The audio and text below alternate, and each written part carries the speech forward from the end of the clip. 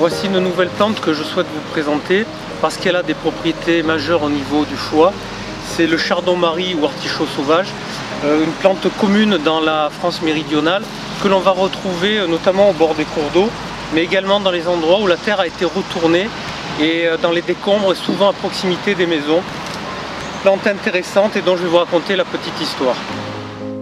D'après la légende, les taches laiteuses qui marquent les feuilles du chardon-marie sont les vestiges héréditaires de quelques gouttes de lait qui sont tombées du sein de Marie alors qu'elle allaitait l'enfant Jésus et qu'elle tenta de s'enfuir et de se dérober aux persécutions d'Hérode. Depuis euh, les temps très anciens, la plante est connue comme plante alimentaire. Euh, tout d'abord, les feuilles sont comestibles, soit cuites à la vapeur quand la plante est jeune, soit en les ébouillantant quand elle est plus âgée, mais à ce moment-là, il faut prendre soin d'ôter les épines qu'on peut voir sur le pourtour des, feuilles. Euh, le spéciol et la nervure principale des feuilles se mangent également cuits comme des cardons. La tige, quand elle est en pleine croissance, est tendre et juteuse. Il suffit de la peler et la grignoter crue ou bien cuite dans de l'eau salée. On servira ce que j'appelle ces bâtonnets de chardon-marie comme des haricots verts ou des asperges. Le réceptacle de la fleur, qui ressemble beaucoup à une fleur d'artichaut, mais avec des bractées beaucoup plus piquantes, peut être consommé de la même façon que ceux des artichauts, mais je vous avoue que les épines rendent l'entreprise ardue. Cette plante renferme une substance, la silimarine, qui en fait est un mélange de plusieurs composés et qui a eu des propriétés euh, détoxifiantes au niveau du foie et également hépatoprotectrices. Alors il y a une bibliographie qui est très importante sur cette silimarine qui a été énormément utilisée et étudiée et on a pu démontrer que l'administration de silimarine à, l'homme euh, va diminuer voire supprimer euh, l'effet toxique de certaines substances au niveau du foie et qui pourraient être responsables de nécrose ou de cirrhose hépatique comme par exemple le tétrachlorure de carbone ou la phalloïdine, qui est le poison de l'amanite phalloïde. Alors, à ce titre-là, pour vous expliquer un peu les propriétés de cette plante, on va prendre l'exemple de la phalloïdine. Et par exemple, chez la souris, si on administre de la phalloïdine à des souris, toutes les souris vont mourir dans les, heures qui vont suivre.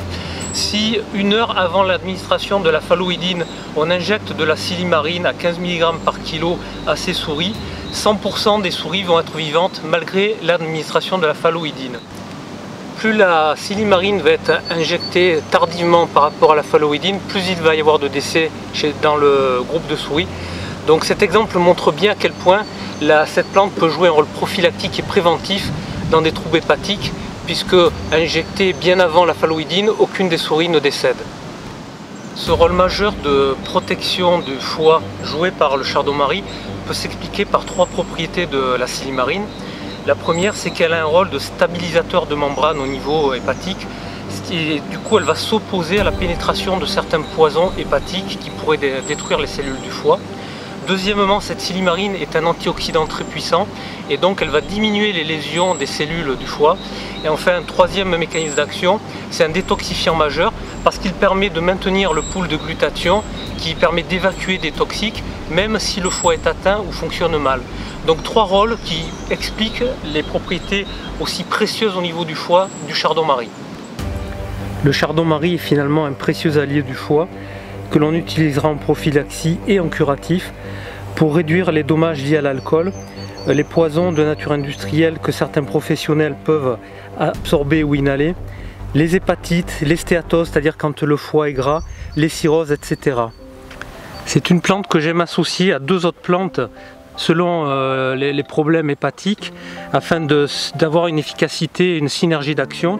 Et en accord avec votre médecin ou votre pharmacien, vous pourrez par exemple l'associer à du desmodium euh, en accompagnement de, de traitements d'hépatite virale, de cirrhose ou pour les patients qui ont des chimiothérapies par exemple, ou alors à du curcuma si on veut jouer plus à ce moment-là sur les stéatoses pour faire diminuer la masse graisseuse du foie, pour diminuer le cholestérol et avoir un effet anti-athéromateux au niveau des artères. Enfin, sachez qu'il n'y a aucune toxicité avec cette plante. La marine a même été donnée à plusieurs grammes par jour à des souris sans aucune toxicité. Enfin, je finirai en vous faisant deux remarques. La première, c'est pour vous dire que la partie de la plante qui est la plus riche en silimarine est en fait contenu dans les graines que l'on va avoir à la fin de la floraison. Ce sont ces graines que nous utilisons dans notre laboratoire pour faire les gélules de chardon-marie. Et enfin, sachez aussi que, prise quelques jours avant un voyage, le chardon-marie va avoir des propriétés préventives par rapport au mal des transports, ce qui peut parfois vous être d'un grand secours.